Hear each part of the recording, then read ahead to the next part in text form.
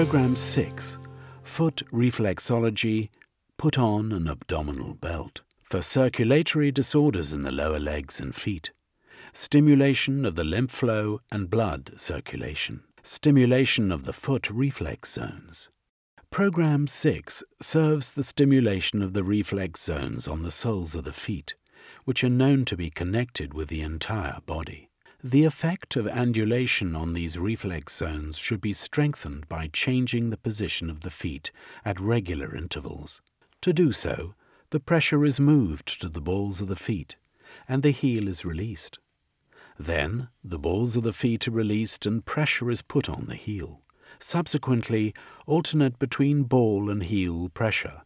Please increase the pressure on the soles after about 10 cycles by swinging both legs. Do this exercise 10 times in a row.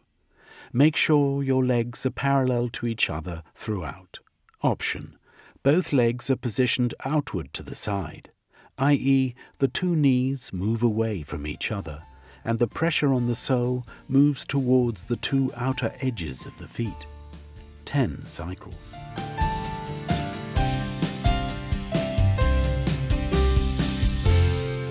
Well done. Your body will thank you.